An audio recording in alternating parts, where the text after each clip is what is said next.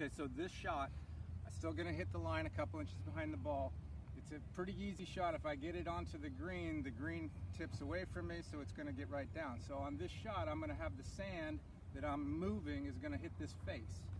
It's just a kind of a measurement, right? So watch where the sand's gonna fly on this shot. Okay, the sand flew into that face. Now let's say the pin was 10 yards further back and I wanted to carry the ball 10 more yards.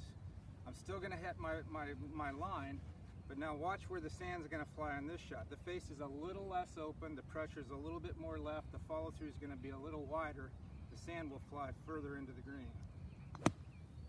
So sand flew all the way into the green and that ball carried 10, 12 yards further.